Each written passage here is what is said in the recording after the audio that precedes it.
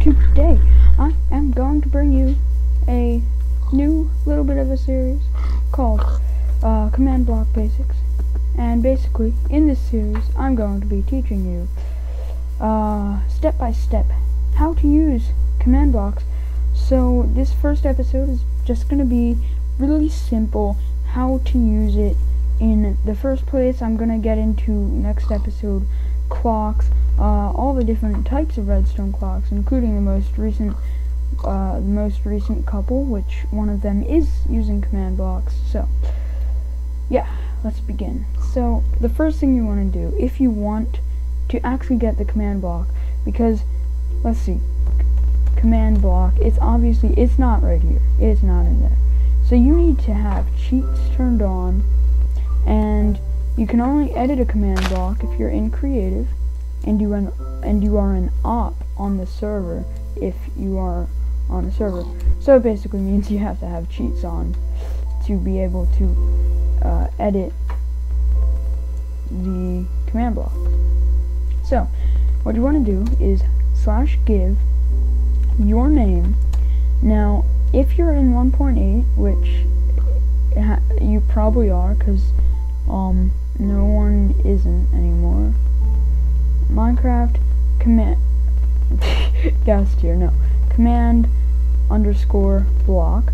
Now, if you are in 1.7 or before then, you're gonna wanna type 137 instead of Minecraft command block.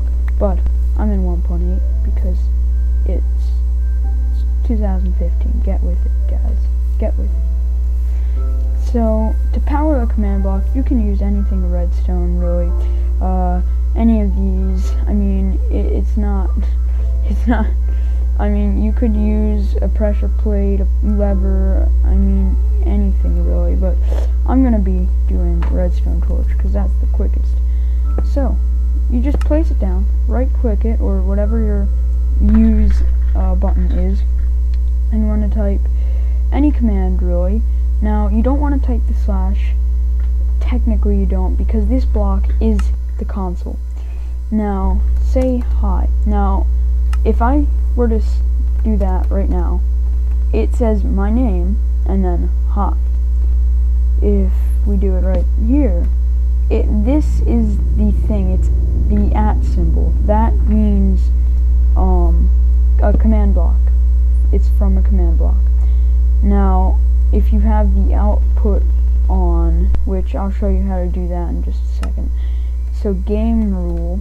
So say when you type, when somebody types a command like um, spawn point FDF 2002, it tells you what happened down here. Say you don't want that to happen. What you're going to want to do is type slash game rule. You, you can look at it and then uh, command block output just spelled like that or you can just hit command and then um, hit tab. False. You want to set it to false. And now let's do it again. It did it. It it still set my spawn point. It just doesn't say it. Um so yeah those those are the two basic things you're going to want to know if you're going to be running command blocks. I mean, um, you can have them do any command. There's seven pages of them, so go ahead, play with that. Um, that's really the whole video. Next time, in episode 2 meaning, I am actually going to be showing you how to make a clock. Um, and yeah, so Thank you for watching this video. I know it was very, very short. You, uh, if you enjoyed, please leave a like. Do subscribe if you've not done so already. uh, subscribe if you want more of these. Leave a like, too. Um, more of this series. Uh, and, yeah, bye.